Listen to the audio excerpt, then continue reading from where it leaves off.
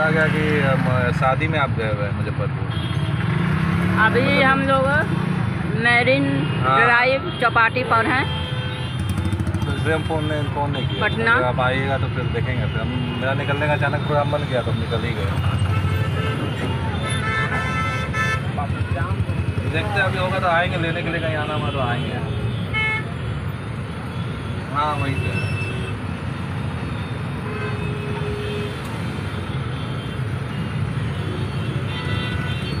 अच्छा अभी हम लोग चौपाटी से निकल गए हैं। हाँ हाँ।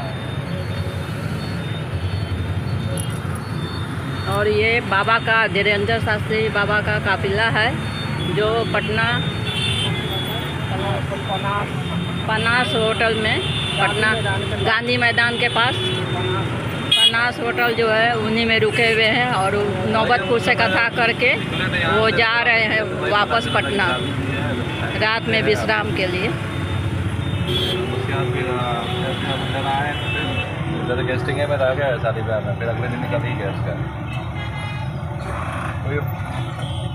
बाबा का काफिला है।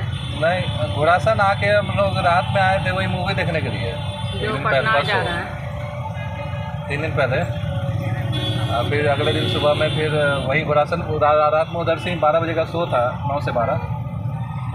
तो फिर महादेवा ने जाके वहीं पर रुक गए सामान मान के अगर सुबह में ही निकलना था पाँच छः बजे। तो फिर वहीं से फिर घोड़ासन रुके रात में वही बारह एक बजे एक बजे पहुँचे हैं घोड़ासन और वहीं रुक गए फिर सुबह पाँच छः बजे